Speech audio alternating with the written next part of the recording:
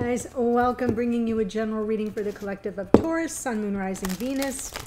Not date or time specific. I trust that whenever you come upon it, if it does speak to you, it may be your message at that time. And if you're here, let's say as a Taurus Sun and it doesn't resonate at all because it is a general reading, you can always check out the reading for your Moon, your Venus, or your rising sign as well. And um, cross watch for your divine counterpart, their Sun, Moon, Rising, Venus. You can walk away with a lot of info that way. Okay, if you're new to the channel, welcome. I hope if you enjoy the reading, you'll consider joining us here by subscribing. And for those who are returning, much love and appreciation. I am so grateful for you. And I'm happy to bring you these messages. Aw, here we go. Cheer up. Live in the moment. Um, oh, so pretty, actually. Yeah, uh, the morning musing, we opened with the Five of Cups, and I felt like, oh, and I even said, oh no, what's up, Taurus? Why so sad? So here, cheer up, live in the moment. That may just be for one of you out there, but it has, we are in Cancer season. And even though we only have the rest of this week in this mansion, we have the sun in Cancer. We have Mercury, our thoughts, right? Our mental uh, body in Cancer. And we Venus just moved into Cancer. So our emotional bodies are now in Cancer. And it, Cancer is the most emotionally vulnerable sign in the zodiac. So if you're all in the feels, please understand it's normal. It should shift in a few days. Okay? So cheer up. Note to self. Ooh, opening with the lovers. What is crossing you here? Ten of Swords. Well, that would explain why you need a cheer up.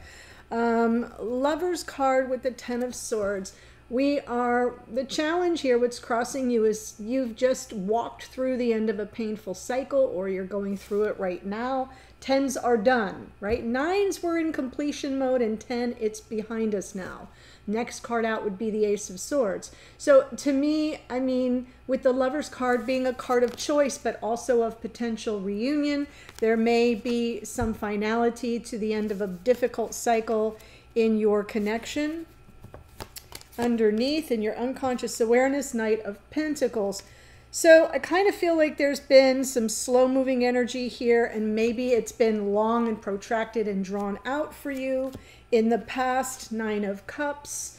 Um, in this particular deck, if you look at her, she is kind of looking a little forlorn. Usually I see the Nine of Cups as some measure of emotional balance or wish fulfillment, but the Nine of Cups can also become sort of complacent energy where you just kind of sit back and you're like, yeah, well, if this is as good as it gets, I guess it's pretty good. You know, it's like there's no motivation to shoot for that 10 of cups. And it looks to me like there's that look on her face of, is this really as good as it gets? Because I'm not all that happy as I wished I would be. Um, could be someone was complacent here in the past. What's crowning you? All right, let's go the long, slow golf clap. for Taurus. New beginning, a new opportunity here. Ugh, thank goodness. That's what's crowning you, meaning conscious awareness. You're like, okay, this is it. This is ended. This is over. Moving forward, uh, onward and upward. It's bountiful. Um, now, it is about commitment too. So it can be an up level. It can represent an up leveling in your connection. You may have just closed out a painful cycle and you may be resetting on some level. Wow. This is in your morning musing twice. Seven of Swords. Hmm.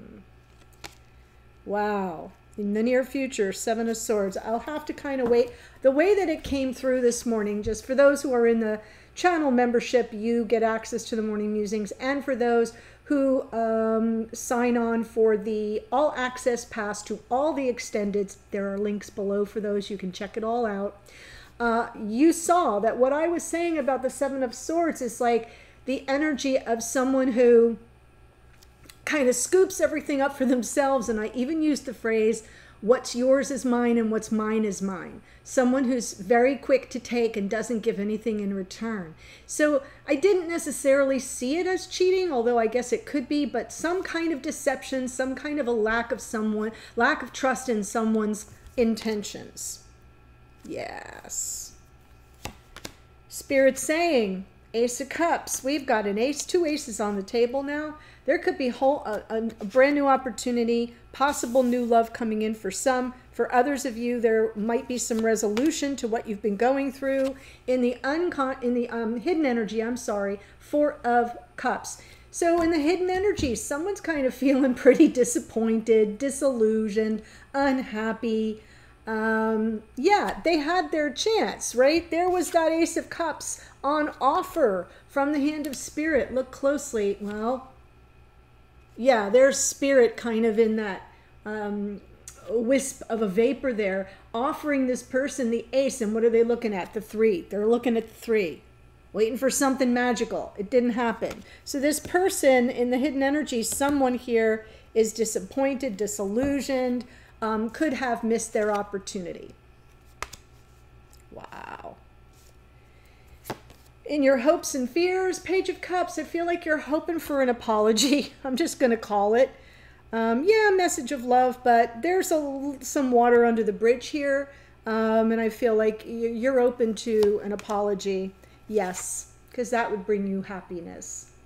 I love this in the outcome position. So I am seeing some interesting energy underneath this, the King of Cups. That's kind of great. Okay, so cheer up here, Taurus. I feel like the tides are turning. King of Cups, this is about the one you love. Um, could be Cancer, Pisces, Scorpio, doesn't have to be but it kind of feels like some emotional availability may be rising to the surface. Um, and you may come, you may be done with a period of this person's complacency and not really um, acting on their feelings or giving voice to their feelings. That may be what has come to an end. I still feel you're struggling with some um, trust issues here.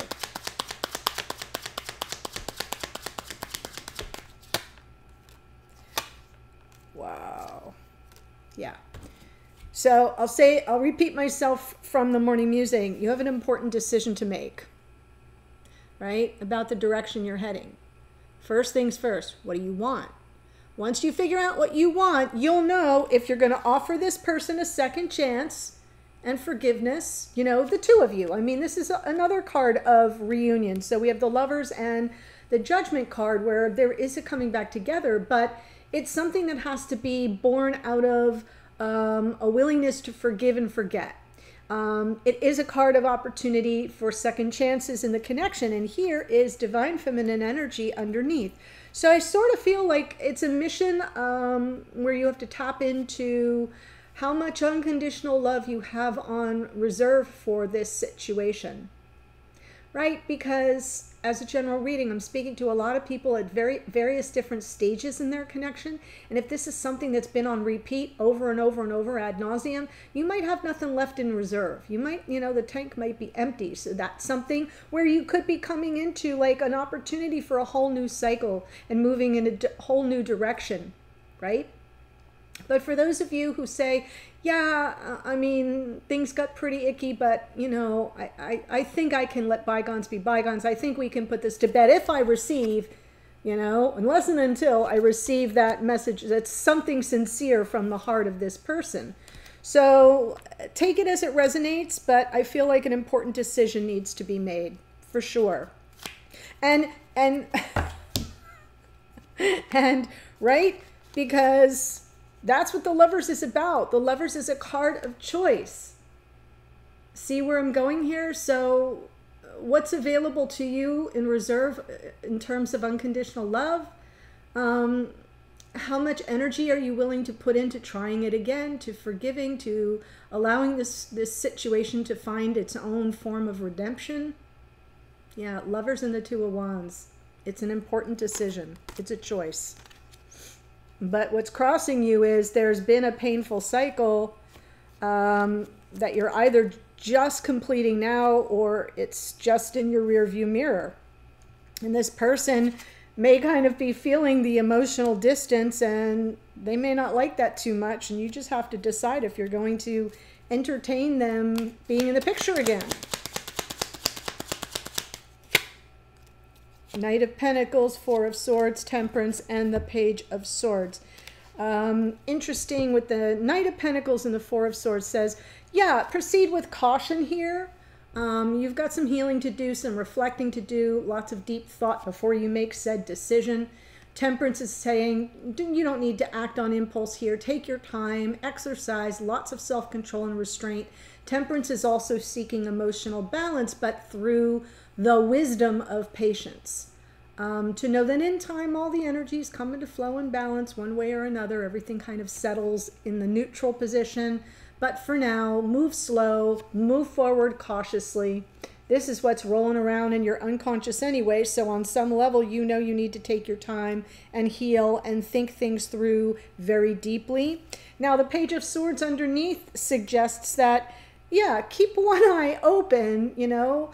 Um, it's like you kind of look for evidence, you look for things to back up uh, what your intuition is telling you about the situation before you take any action anyway. Okay, so I like that the Page of Swords is there. Nine of Cups in the past.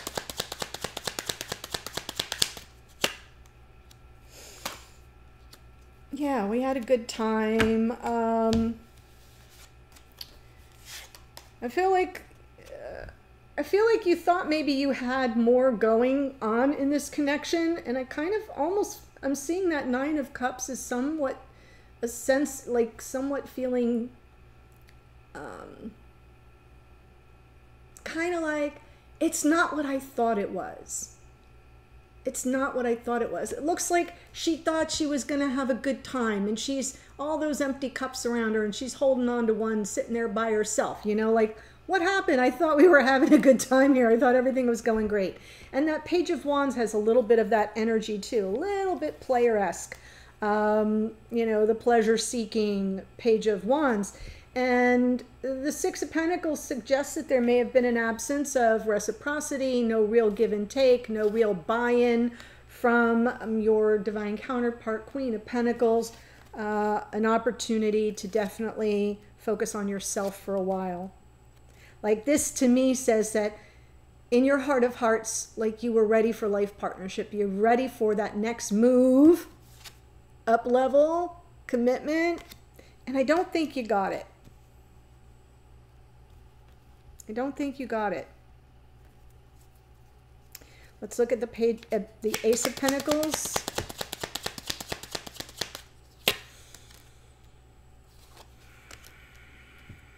But you might just get it. Wow. Oh my gosh. Taurus, I love this for you because right now you're mirroring their energy. You're like, I'm ready to take this connection to the next level. I want them to come in with an offer, but I want them to stay. I want them to mean it from their heart. And here you are in your disillusionment, in your disappointment, in your disenchantedness, right? And then guess what? Boom. Knight of Wands, King of Cups. So I do feel um, in your conscious awareness, you are ready for this person to return, emotionally available, you know, not missing the opportunity that you feel they, they missed in the past. That's what I'm seeing here. Um, I feel like you, you know, if they rang your bell, you'd answer the door. That's what I see.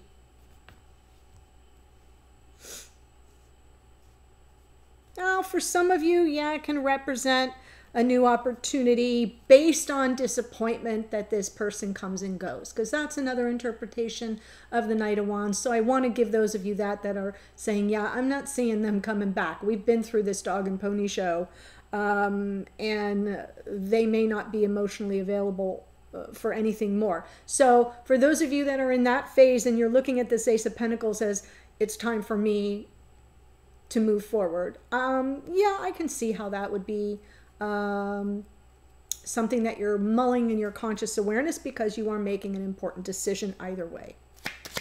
Seven of Swords in the near future. Yes, Three of Swords. Wow. Ace of Swords. Didn't I say after the 10 comes the Ace? There it is. Knight of Swords. Um, let me let me pull this Ace of Cups first because the message from Spirit may clarify some of that.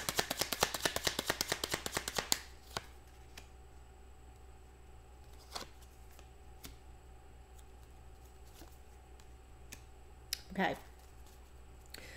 So I feel like um, you're going to better understand all the heartache and this lack of trust, this energy of the Seven of Swords. I guess it can be deception, but the way it's coming through is someone just not being forthcoming about where they're at in terms of the connection, right? not really being on the same page, but they, they kind of didn't deal with it. Maybe gave you, you know, a lot of false hope, and then there's a cut and run kind of out out attitude, like an escapist attitude with the seven of swords. So I'm feeling like there's uh, clarity that may come in about this heartache over this person's lack of forthrightness. Is I mean Sure, for some of you, could it be someone that out and out lied? Absolutely. Betrayed you? Absolutely. That's possible. But but I'm feeling more based on all the other cards that came out is that you're going to have insight into this person's kind of um, lying by omission of fact, right? Answering questions in a way that on some level provides a sense of false hope without actually out and out lying.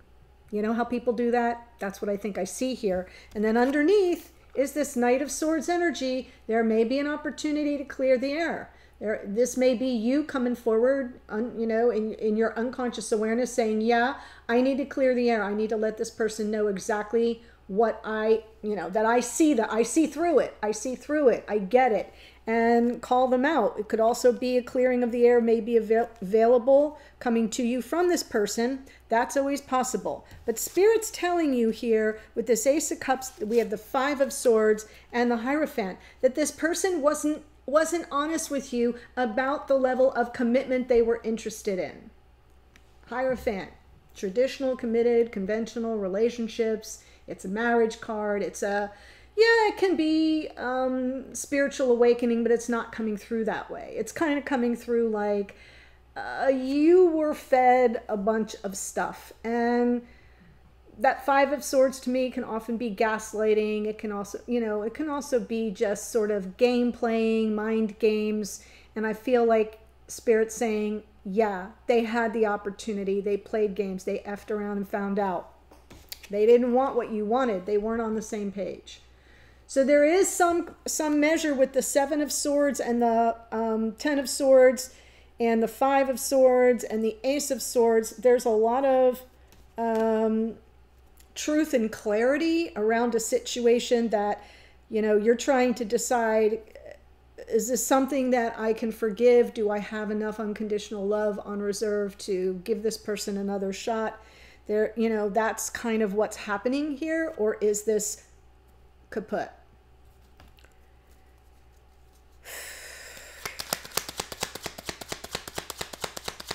Hidden Energy, Four of Cups.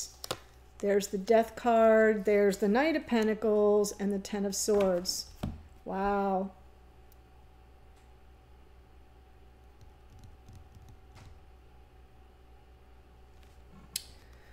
I don't know. I'm I'm I'm seeing like some effort here. I know this is going to sound strange in the hidden energies. I almost feel like your person's wondering if it's too late to change, right? You know how sometimes people say, I can change. I, I, I messed up. I, a, I'm sorry, right? B, I'm, I'm totally messed up. I totally blew it. I had the opportunity, but I'm changing. I'm growing. I'm changing. I learned. And there's transformation available with the death card. And then then I see like as it almost like morphs into the Knight of Pentacles, someone who's more circumspect, who thinks about the back end, like the, the distance, the future, and says, you know, okay, I got to be really clear and conscious in terms of my intentions and how I move forward and cross every T and dot every I and not let this person down again. That Knight of Pentacles is dependable.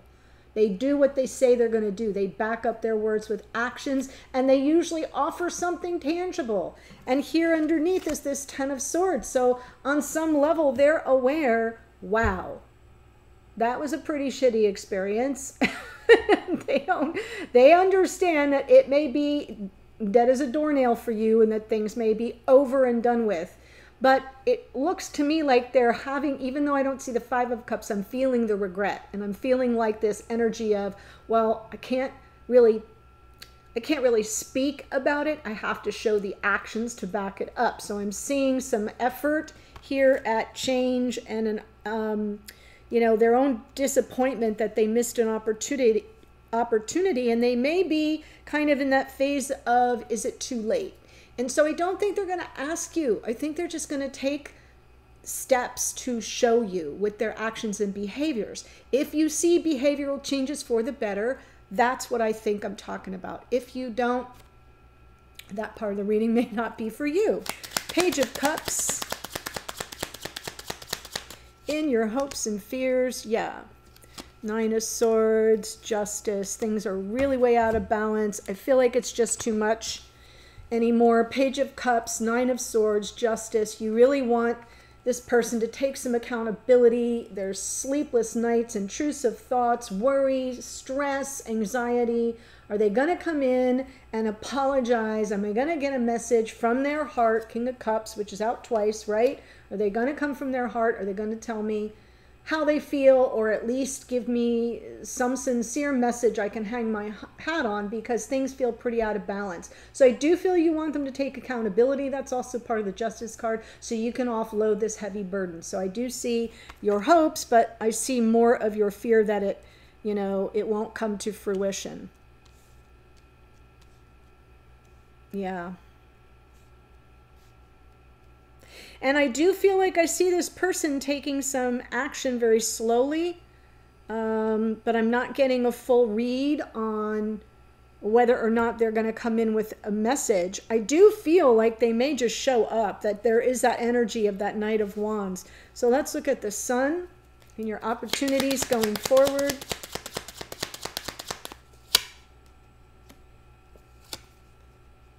Oh, couldn't end on a better note here, Taurus, honestly. The Sun with the Seven of Pentacles, the Knight of Cups, and the Ace of Cups. It'll take time. It'll unfold organically. They will come from their heart. And if this is a connection that you feel is true twin flame, they are the love of your life. And all this stuff, boom, has to come to an end, has to change. And that's the message from Spirit, right? They weren't honest with you about that. They had their own agenda. And now they know I blew it. So I feel when they come in, if they do come in, it'll take some time, but it will be the happiness you seek with the messages and the offers that you're hoping for. Wow, that you were hoping for in the past and felt so dejected about. All right. I don't normally say it, right? There's the there's the regrets of the past and the sadness and the sorrow and the grief on your end and the mistakes and the regret on their end. That's what I've been feeling through the whole darn reading. So I love that part for you. So let me tell you who showed up, but before I do that, there's a link just in the top sentence of the description box that will take you to the extended and I'm going to pull all the cards from your person's point of view. So whoever this King of Cups person is, I'm going to get their take on the situation, how they see you, think about you, feel about you, their intentions going forward, and on and on and on. So that's what we tackle in the extended. Here's what we got we've got Gemini in the lovers, Scorpio in the um, judgment, that's a card of Pluto. The Empress is Taurus and Libra, card of Venus. She just moved into Cancer, as I mentioned. We've got the Temperance card is Sagittarius. Uh, Queen of Pentacles can be Taurus, Virgo, Capricorn. Knight of Wands, Sagittarian energy. King of Cups is out twice. Um, Cancer, Pisces, Scorpio. We've got the Hierophant is Taurus, Death card is Scorpio, a lot of Scorpio coming through. Justice is Libra, Sun card is Leo. So I feel like I've been on a wild, wild ride with you just in this one reading, Taurus, but I see it heading in a good direction. Uh, let's get the impressions from your person. Okay, see you at the extended. Bye for now.